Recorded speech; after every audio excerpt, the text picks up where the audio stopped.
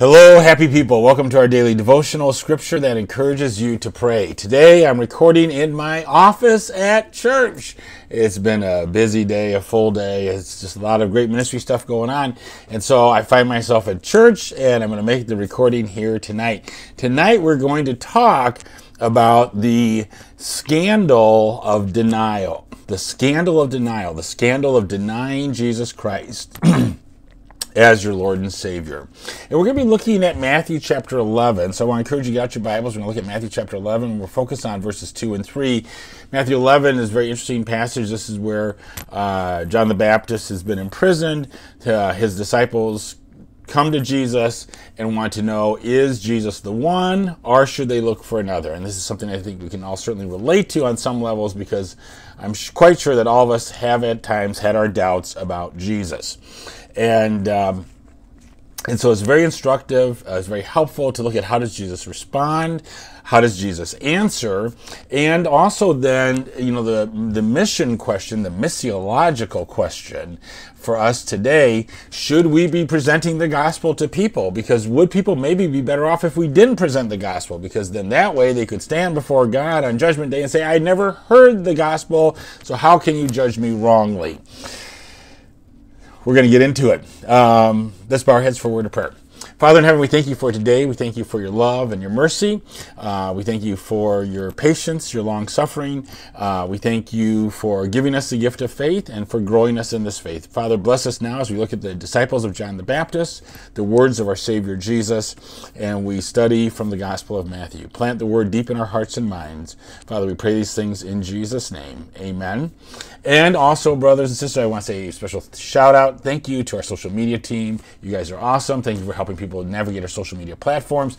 If you have any prayer requests or praise reports, use the prayer app. We've got 26 dedicated prayer partners. We just added another one in our church here, 26 of us, and uh, and we'd love to pray for you and care for you. So whatever you're going through in life, you don't have to go through it alone.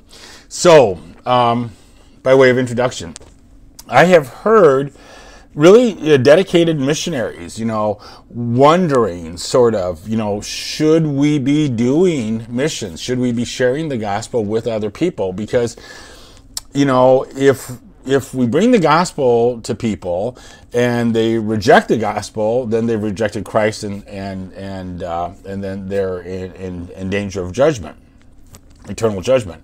Um, and so then the, the question they would ask is then, would we be better off not bringing the gospel? Because then that way, you know, this tribe of people could stand before God and say, well, you know, we never heard the gospel. Take that into consideration. Um, and so, you know, we're going we're to look at that. We're going to address that question today uh, as we look at Matthew chapter 11. Um, so Matthew 11 verses 2 and 3 it says when John heard in prison about the deeds of the Christ of the Messiah of Jesus he John the Baptist sent word by his disciples and said to Jesus are you the one who is to come or shall we look for another okay so let's unpack this because um, these words might seem sort of scandalous. And is is John the Baptist in danger of denying Jesus as Lord and Savior so, John the Baptist is in prison. Uh, it would be very natural for him to have doubts. You know, uh, perhaps he thought he would never be in this situation. Uh, you know, after all, he's the one who baptized Jesus. He had encouraged his disciples to follow Jesus. You know, he said, I must decrease, that he would increase. You know, not a lot of preachers today feel that great when church members leave and join another church. Um, John the Baptist certainly preached the full weight of the law. He didn't sugarcoat anything.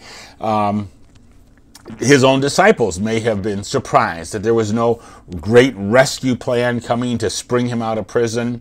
Uh, and I think, you know, if we're honest, uh, like I said, we can also find ourselves, uh, like John, wondering if Jesus is the one. So then let's look at Jesus' response. And um, to you know to, to, understand Jesus' response, it's helpful to go back to the prophet Isaiah, uh, Isaiah 35, 1 to 6. Let me read a couple of the verses for you.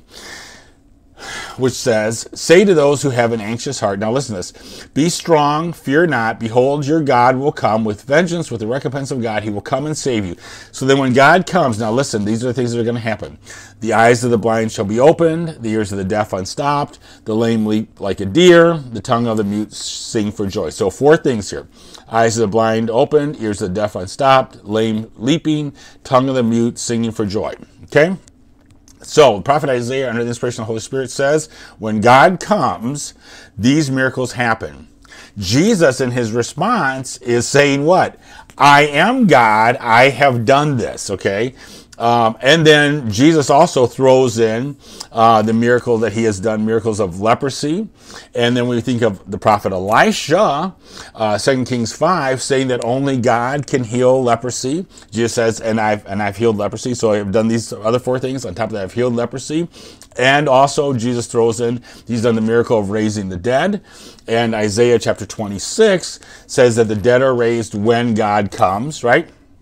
So Jesus' answer to the disciples of John the Baptist fuses the prophecies regarding the coming of God and the coming of the Messiah into one. How cool is that, right? Pretty cool.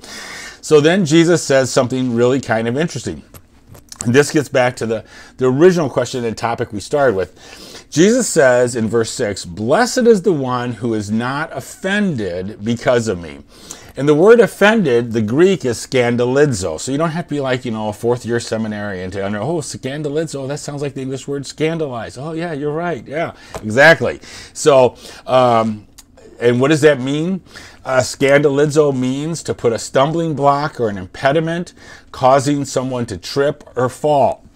So Jesus is saying something really significant here. Jesus is saying, Blessed is the one who does not trip or fall away from God because of me. And so, you know, we should remember, in fact, many people took great offense at Jesus. Uh, Matthew 13 says, coming to his hometown, he taught them in their synagogue, and they took offense. Matthew 15 says, the Pharisees were offended at Jesus' teaching. The exact same word there, scandalizo. Okay. Um, and Jesus will be crucified. Why? Be, precisely because people took offense at Jesus claiming to be God, right? They tore their robes and they spit on him. Jesus did not come into this world to condemn it, but to save it. And so, what's the point here? We are blessed eternally if we do not stumble over his offer of salvation through his suffering. And here's the bottom line this world is in a fallen state. Every one of us is, out, is born outside of a saving relationship with God. The only way you can get into a saving relationship with God is through the Son by the power of the Holy Spirit. That, that's simply the facts. And so, when, to back to the missionaries' question, therefore, when we bring the gospel to another tribe, tongue, or nation that has not had it before, and not all of them receive Jesus Christ as Lord and Savior, those who do not receive Jesus Christ as Lord and Savior are in no worse condition prior, uh, after we've gotten there than before we got there. Because we're all, regardless of what tribe or tongue or nation we're born into, we're all born outside of a saving relationship with God. And so, therefore, it behooves each and every one of us who are believers to share the gospel with others, that some might be saved. Amen? Amen. All right. Now, uh, Jesus does not want us to use our Christian freedom to cause others to stumble and turn away. And sometimes Christians can be guilty of that. You know, they, they love the freedom they have, and so then uh, they use it in ways that can cause others to stumble and turn away. Okay, so an example of this, Matthew 17. We read, The collectors of the two drachma tax said to the disciples, Does your teacher, that's Jesus, does your teacher not pay the tax? Jesus says to his disciples, So that you do not give offense, same Greek word, scandalizo, so that you do not give offense to them, go to the sea, cast a hook, take the first fish that comes up. When you open its mouth, you'll find a shekel, that's more than two drachma give it to them for us. Okay. So we should not use our freedom that we have as Christians to scandalize those who are weak in the faith or those who are not in the faith. And then also notice Jesus' response to John's disciples. Jesus does not criticize John's question, but compliments John's character and ministry. Jesus goes on in verse 11, he says, Among those born of women, there has arisen no one greater than John the Baptist. In my research, I found this quote from Cornelius Lapide, a 16th century Jesuit. This is what he says about this topic.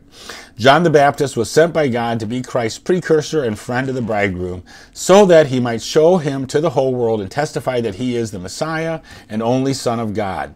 This office and dignity far surpasses all the offices and dignities of the prophets. I just, I love that quote. But I'm a history geek, so what do I know? I want to close with this thought. Jesus points John's disciples uh, and their questions to clear and physical answers. He says to them, Tell John what you see. The blind receive their sight, the lame walk, lepers are cleansed, the deaf hear. John, Jesus points John's disciples to clear physical answers to their questions. And Jesus does the same with the church today.